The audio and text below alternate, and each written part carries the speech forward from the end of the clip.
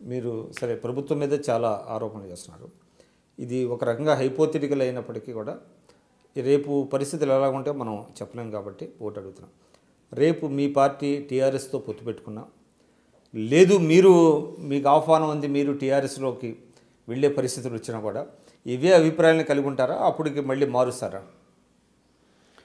అంటే ఒకవేళ ఇదే అభిప్రాయం లేకపోతే నేను రాజకీయాలు చేయాలని జమీందారు కుటుంబం నుంచి రాలేదండి నేను. ఒక సామాన్య మధ్యతరగతి కుటుంబం నుంచి వచ్చిన. నేనేదో నేను పుట్టిన గడ్డకి కొంత మేలు చేయాలి కొంత పని చేయాలి నాకంటూ ఒక గుర్తింపు ఉండాలి నలుగురికి సేవ చేసిన తృప్తి ఉండాలనే ఆలోచనతో రాజకీయాలు ఎంచుకున్నా. నేను ఈ పదిహేను సంవత్సరాలుగా నిరంతరంగా వేరే వ్యాపకం లేదు.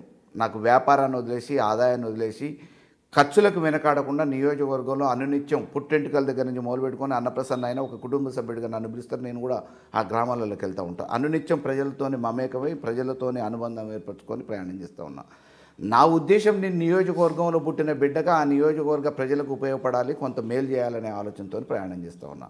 ఆ క్రమంలో ఒక జెండాని ఎంచుకున్నాం కాంగ్రెస్ జెండాని. కాంగ్రెస్ జెండా నాకు పార్టీ పరంగా అన్యాయం జరగలేదు. వ్యక్తులు వాళ్ళ స్వార్థం కోసం నన్ను బలి చేసే పరిస్థితి వస్తున్నప్పుడు ఇమడలేక బయటకు వచ్చిన అప్పుడు ఈ బలహీన వర్గాలకు సంబంధించిన పార్టీగా తెలుగుదేశం ఉంటే బాగుంటుందనే ఆలోచనతోనే తెలుగుదేశంలోకి వచ్చిన. అనుకున్న విధంగా రెండు సంవత్సరాలలో నేను పనిచేసిన ప్రజలు నన్ను కావాలనుకుని కోరుకున్నారు. ఆ క్రమంలో నాకు టికెట్ ఇచ్చారు అవకాశం ఇచ్చారు ఓట్లేసిరు కొంతమంది సరే కారణాలు వేరైనా ఓడిపోయినా. ఓడిపోయిన తర్వాత కూడా నాకు పార్టీ సముచిత స్థానం ఇచ్చింది. ప్రజలలో ఉన్న కార్యక్రమాలు నేను చేస్తూ ఉన్నా.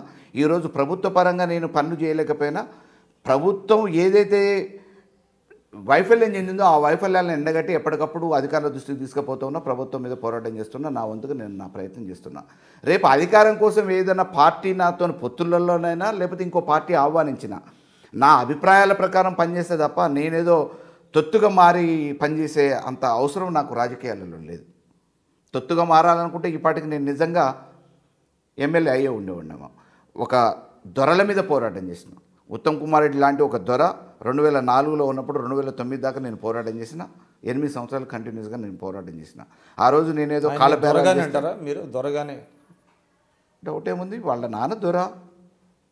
వాళ్ళ నాన్న దొర. ఆయన కూడా దొరకు సంబంధించిన ఆయన విధానం ప్రవర్తన మాట నడవడిక అన్నీ దొరమాదిరిగానే ఉంటాయి.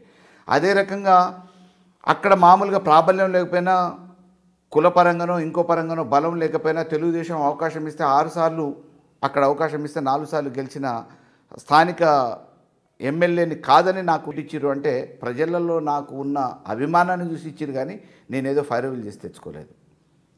కాబట్టి రేపటి భవిష్యత్తులో నా ప్రజాభిమానాన్ని గమనించి ఎవరైనా పార్టీ వాళ్ళు ఆహ్వానించినా నేను ప్రజల అభిప్రాయాలకు అనుగుణంగా అక్కడ పనిచేయడానికి సిద్ధపడుతుంది తప్ప పార్టీ అభిప్రాయాలు కొంత పరిగణలోకి తీసుకుంటాం తప్పకుండా.